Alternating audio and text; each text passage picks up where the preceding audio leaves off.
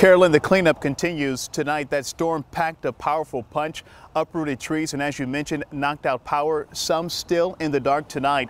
The path of destruction left some in disbelief. It was like unbelievable.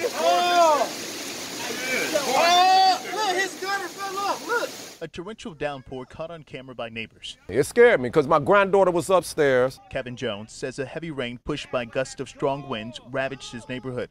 The power of Mother Nature left him in disbelief. It looked like a fan of, of water, and the trees fell down simultaneous. Boop, boop, boop, boop, boop, boop. Trees uprooted, blocking traffic, down power lines left some in the dark for hours. Philip Boyd also lives on Buckingham Avenue on the city's east side. The debris too much of a load to clear himself. He worries about if his neighbors would need emergency assistance overnight. Might be another emergency come up. Somebody could get sick or anything. I heard like a a big bolt of lightning, like a zippy sound, and next thing you know, my power was out.